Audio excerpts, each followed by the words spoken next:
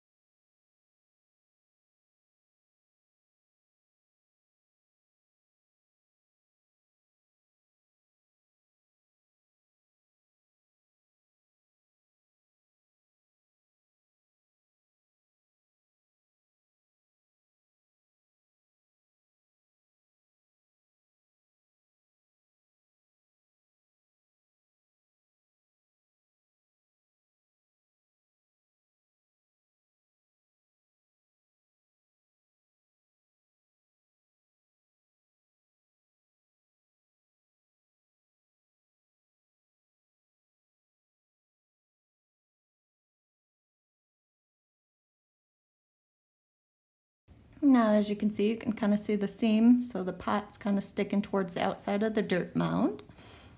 And all your stitches should line up stitch per stitch from the dirt to the pot.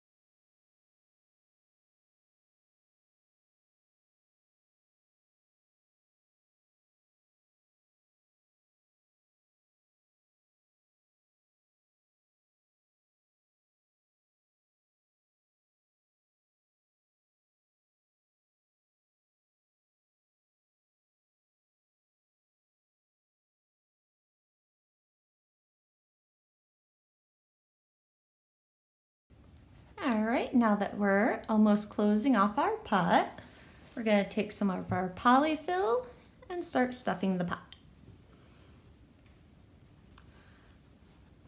I like to add extra filling into it. Um, you could also, you know, put some sort of a weight into the bottom of it, um, especially if you're wanting it kept uh, on a table and there's any wind or breeze coming through. You might want to add something into the bottom, small rock. Um, who knows, maybe even you could throw a magnet inside of it too if you have like a metal table. So possibilities are quite endless on things that you can do with them.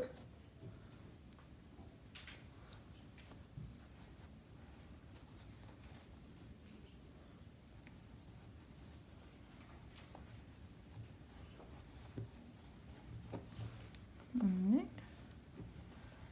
And give our pot a nice little check.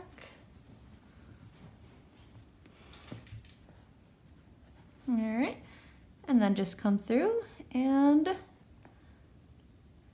finish up sewing it together once you have it all good and stuffed.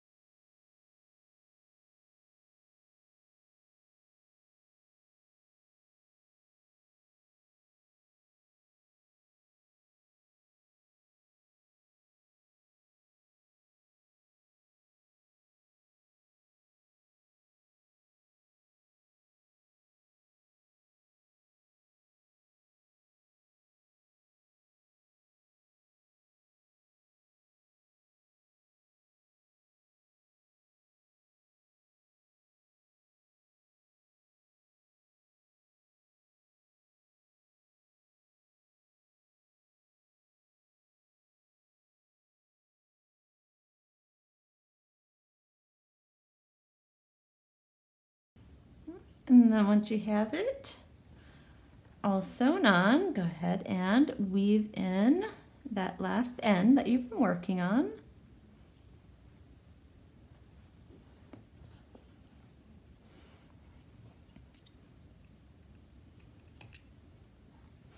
And then we still have this little gray one. So we'll go ahead and weave in and tie off that one. The gray one was also a good thing to keep on before cutting it off, just because if there was any issues, like we didn't leave enough brown yarn, we could have used this color also to work back.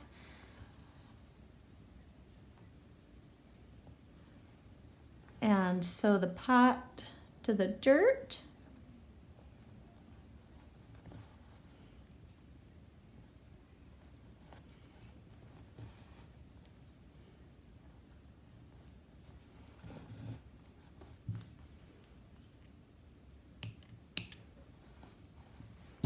And uh, there we are. We have our, well, you might want to mess around with the stuffing a little bit. Give it a little bit of squeezes so it moves that stuffing around a little bit more so it holds precisely how you want it. Thank you so much for watching. I hope you enjoyed this video. If you did, be sure to give it a little thumbs up. It helps me out quite a bit. Um, and also, if you have not yet subscribed, go ahead and hit that subscribe button and you'll get a little heads up every time whenever I post a new pattern. Thank you so much for watching. I hope you have a wonderful day.